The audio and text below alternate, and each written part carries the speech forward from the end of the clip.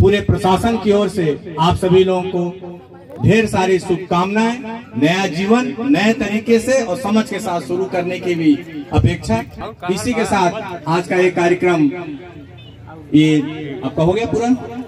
समाप्त किया जाता है। मैं जिलाधिकारी महोदय से और लोगों से अनुरोध करूँगा कि आशीर्वाद देते हुए।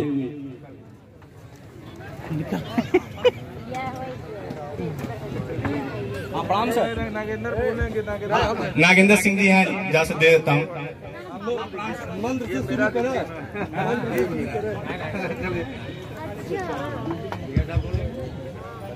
आज इस माननीय मुख्यमंत्री सामूहिक विवाह कार्यक्रम में हमारे बीच पधारे हुए हमारे किसान मोर्चा के प्रदेश अध्यक्ष श्री नागेंद्र सिंह जी राहुल जी हमारे पीडी पीडी साहब जिला समाज कल्याण अधिकारी अन्य अधिकारी गण पंडित जी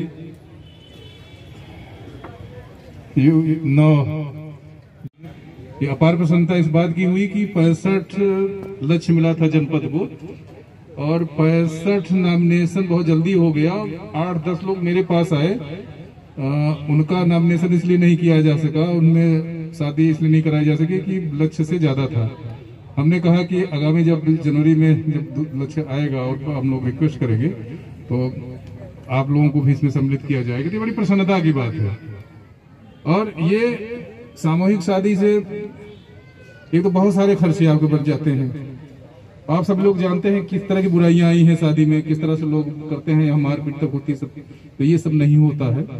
और चूँकि ये प्रशासन की देखरेख में आपकी शादी होती होती है तो इसका रजिस्ट्रेशन भी होगा। और हम आपके गार्जियन हैं, आपकी कोई समस्या है तो आप हमसे, हमें, हमसे बताएँगे। टेलीफोन जिलाधिकारी का रहता है। टेलीफोन से भी बात कर सकेंगे और आकर के भी मिल सकेंगे। बस मुझे यही कहना है कि ये आपकी शुरुआत है। एक परिवार से दूसरे परिवार में जा रहे हैं। हर परिवार की अलग अलग सोच, विचार एक तरह कह लेती है कि उनके संस्कार अलग अलग होते हैं। तो उसमें आपको रम जाना होगा। देखिए, वैदिक जो शादी होती थी, दो तीन चीज़ें जो आज बुराई लगती हैं, उस समय बहुत अच्छाई थी। जो आज दहेज कहते हैं, दहेज नहीं था। ईश्वर लड़की को संपत्ति का पूरा अधिकार तो लड़के को होता है। तो लड़की को किस तरह से किया जाए, उसको कंपनसेट किया जाए? और नवयुवक शादी के बाद आर्थिक समस्याओं में न उलझे, इसीलिए उनके कुछ दिनों के लिए सामान और सारी आवश्यकता चीज़ें दे दी जा, दे दी जाती है ताकि वो उनको आर्थिक समस्या न हो। और समय समय जब जाते थे, तब उनको दिया जाता था, इसलिए उसका शेयर होता, लड़की का शेयर होता।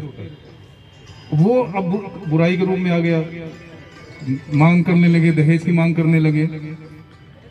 इसी तरह से जो कन्यादान की बात है कि लड़की मायका से मतलब नहीं रह गया ससुराल जाएगी इसके पीछे उद्देश्य मात्र यही होता था।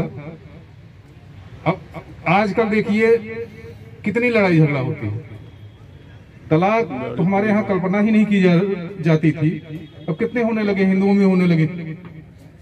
पता चला कि आपके पास मोबाइल है? छोटी सी बात हुई। वो आपने फट से माँ के टेलीफोन कर दिया। पिता का- आपके भाभी किया। तो किस अर्थ में आपने कहा? किस अर्थ में आपके सास या ननद ने कहा? किस अर्थ में उन्होंने समझा? तो भी इससे होता है मैंने से होने लगता है, आपकी दूरियाँ बढ़ती जाती है। तो आप ससुराल जा रहे हैं। सामंजस्य बनवाए रखिएगा। परिवार में सास ससुर वही एक आपकी तरह से मा, माता पिता हैं। अगर आप अपना व्यवहार आचरण अच्छा रखेंगे तो जो जिसका व्यवहार आचरण ठीक होता है वो हर जगह सक्सेस होता है।